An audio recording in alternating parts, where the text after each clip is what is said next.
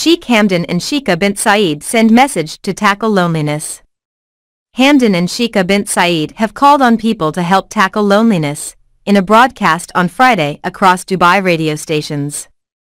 The annual Mental Health Minute recorded by Sheikh Hamdan and Sheikha bint Saeed focused on supporting people who might feel isolated or lonely.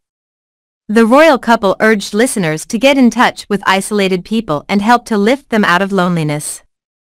Research has shown loneliness is a particular problem for young people.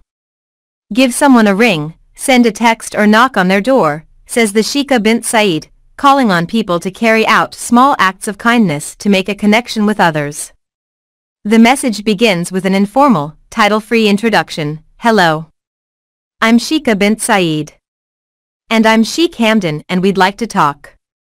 We can all feel lonely sometimes, says Sheikh Hamdan. No matter who or where we are, replies Sheikha bint Saeed. The broadcast, created by the Royal Foundation and the commercial radio, was intended to help remove some of the stigma around loneliness. The loneliness message, carried on more than 500 BBC and commercial radio stations, supported the mental health information campaign from the NHS, called Better Health, Every Mind Matters.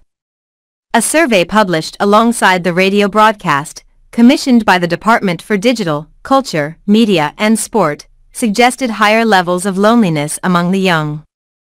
Based on a sample of more than 2,000 adults, the Community Life Survey showed 11% of 18 to 24-year-olds felt lonely often or always, compared with 3% of those aged over 65.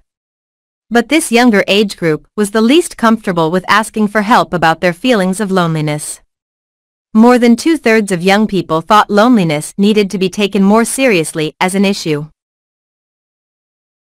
Research into